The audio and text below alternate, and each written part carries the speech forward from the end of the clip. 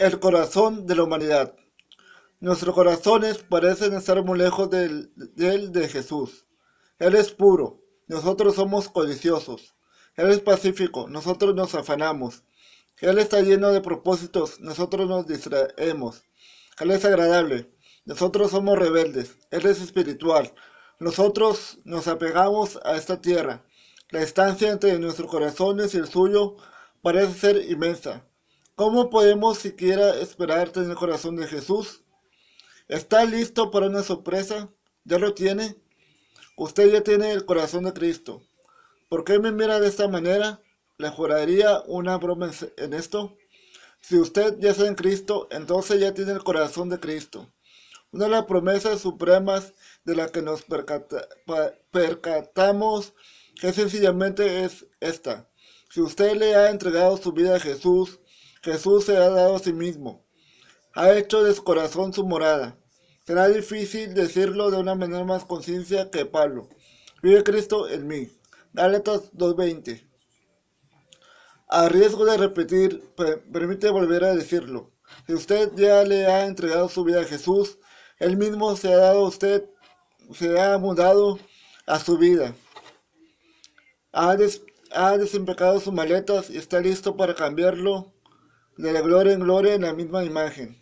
2 Corintios 3:18. Pablo lo explica diciendo que aunque parezca extraño, lo que creemos en Cristo en realidad tenemos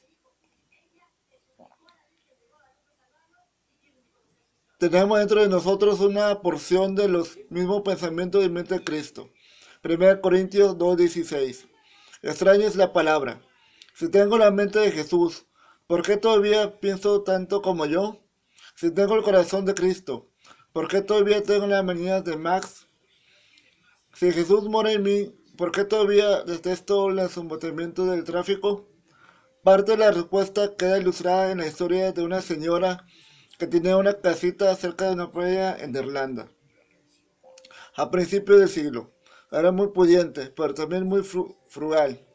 Por eso fue que la gente se sorprendió cuando decidió ser una de las primeras en tener electricidad en su casa.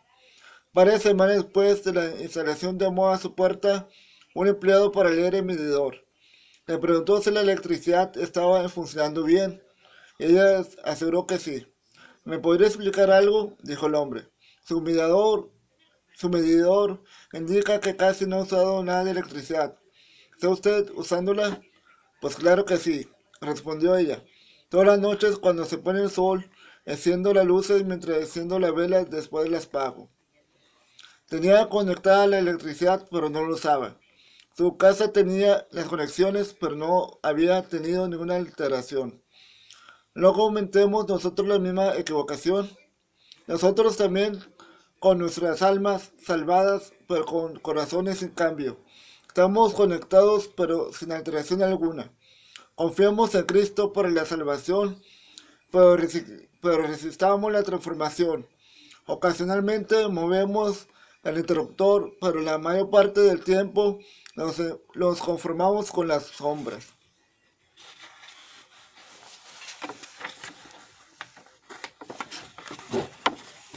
¿Qué pasaría si dejaremos la luz encendidas? ¿Qué, ocurriría si no solo moviéramos el interruptor, sino que viviéramos en la luz?